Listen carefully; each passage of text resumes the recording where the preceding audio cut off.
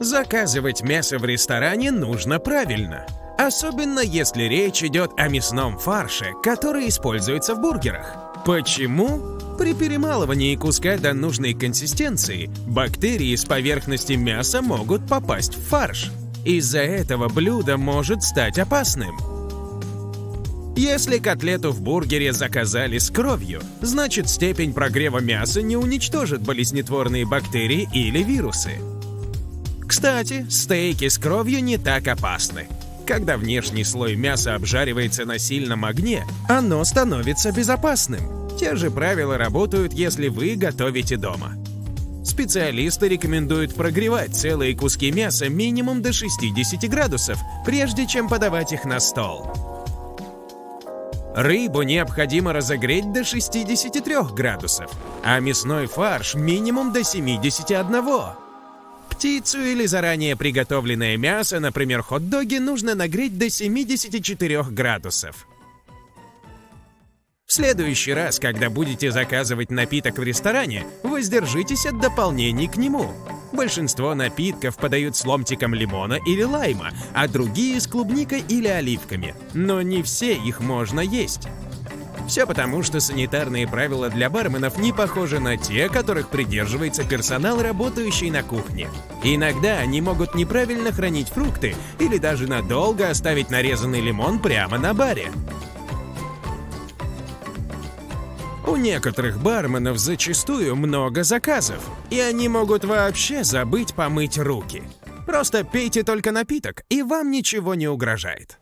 То же самое касается воды из-под крана. Скорее всего, именно такую вам принесут в ресторане просто потому, что она всегда в наличии.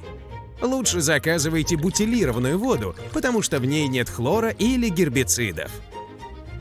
Да, она немного дороже, но зато потом не придется идти к врачу. Если вы останавливаетесь на отдых в отеле, там наверняка есть шведский стол, но лучше им не пользоваться. Во-первых, вы не можете знать, как долго там лежит еда. Более того, не все посетители соблюдают элементарные правила гигиены. Некоторые накладывают еду на тарелки руками, не используя вилки или ложки. Из-за этого легко можно подхватить простуду или даже грипп. Но если вы не хотите пропускать шведский стол, выбирайте тот, где есть возможность подогреть еду. Постарайтесь следить за тем, какие продукты должны быть теплыми, а какие холодными. Сыр, например, не должен достигать комнатной температуры, а супы и мясо всегда нужно есть горячими.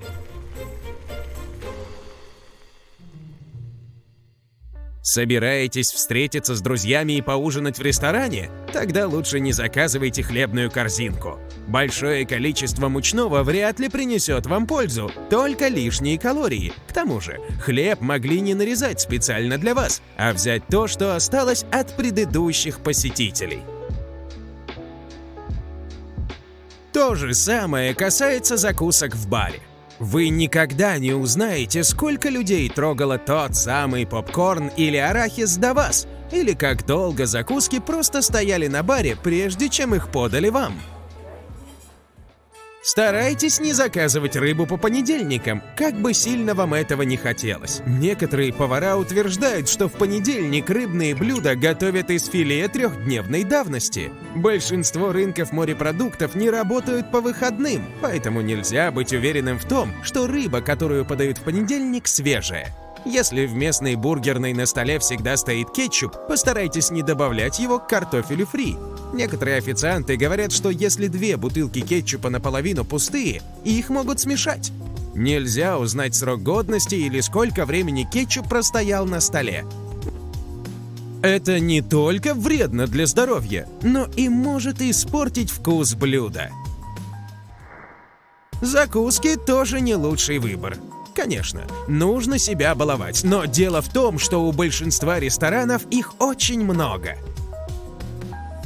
Тому времени, когда вам подадут основное блюдо, вы уже будете сыты. Для того, чтобы не переедать, в следующий раз откажитесь от арахиса или чипсов. Возможно, вы думаете, что стоит заказать салат, но это тоже не лучшая идея. В состав большинства из них часто входит что-то жареное, много соуса и орехов. в небольшой порции салата может быть больше калорий, чем в основном блюде. Поэтому перед тем, как сделать заказ, обязательно спросите у официанта обо всех ингредиентах и их количестве. Если после ужина вы захотите попросить упаковать оставшуюся еду с собой, сразу же отправляйтесь домой. Если коробка будет долго находиться на улице, еда может испортиться, не говоря уже о том, что на вкус она тоже будет не очень. Так что, если планируете пойти по магазинам или посмотреть фильм после обеда, лучше не забирайте еду с собой. Второй самый дешевый напиток в меню ресторана может хранить небольшой секрет – Конечно, вы всегда можете заказать его, но во многих ресторанах второй по дешевизне напиток обычно тот, за который платят меньше всего. Лучше всего выбирать напиток, рекомендуемый рестораном. Обычно это лучшее соотношение цены и качества.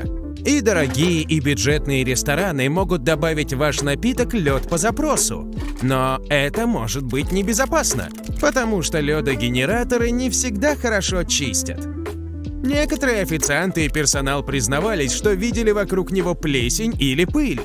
Поэтому лучше просто попросить свежеохлажденный напиток, который, скорее всего, будет в закрытой емкости, потому что большинство ресторанов открывают бутылки с газировкой прямо перед вами, чтобы вы знали, что она безопасна. В мороженом, которое заказывают на десерт, не так много калорий, но есть один недостаток. Во многих ресторанах цена за порцию мороженого слишком завышена. Зачем платить за него в заведении, если можно купить намного больше в супермаркете по дороге домой? Если ресторан не предлагает мороженое собственного производства, выберите что-то другое или вообще не заказывайте десерт. Лучше не ходить на ужин в ресторан в дни национальных праздников. В это время на кухне очень много людей. Персоналу приходится выносить заказ за заказом. Значит, из-за огромного количества посетителей работники будут меньше времени уделять деталям. Если хотите отметить праздник в ресторане, выберите день до или после конкретной даты, или просто перенесите ужин на следующие выходные. Но если ресторан закрыт на праздники, не спешите бронировать столик сразу после его открытия. Вам могут подать еду, которая долгое время хранилась на складе. А еще во время праздников можно приготовить еду дома и отточить свои кулинарные навыки.